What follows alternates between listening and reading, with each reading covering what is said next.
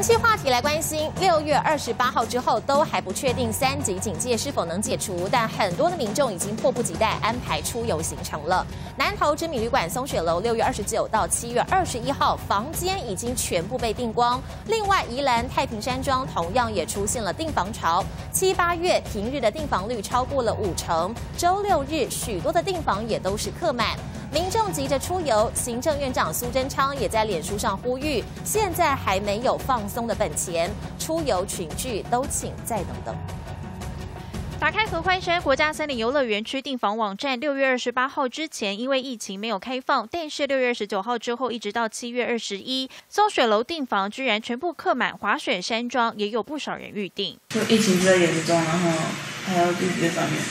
大家是这么讲哦。但是大家。没有办法预测疫情最后会怎样，所以就是提早做准备，反正先定。那最后如果真的没有办法，呃，没有办法成型的话，大家再取消就好了。因为房间数很少，容易有客满的状况嘛。如果届时尚未开放，我们会协助办理全额退费。同样出现订房潮的，还有宜兰太平山庄，目前七八月订房数大概都有五成以上，周末几乎客满。会配合他疫情中心宣布的那个管制哈，所以我们会滚动标准是否提供住宿。民众迫不及待出门，行政院长苏贞昌赶紧在脸书发文，除了引用指挥官陈时中的说法，心情可以放轻松，但是行动要维持。他也直言，现在没有松懈的本钱，大家还是要配合防疫，出游群聚都得再等等。记者曾如晨南投报道。